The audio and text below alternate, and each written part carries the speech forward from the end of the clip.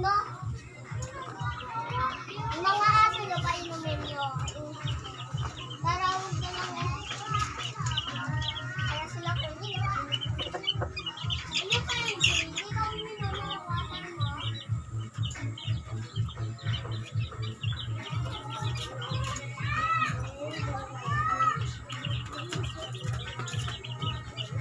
Daming bunga yung mga langka natin ah so, lapit na itong mahinog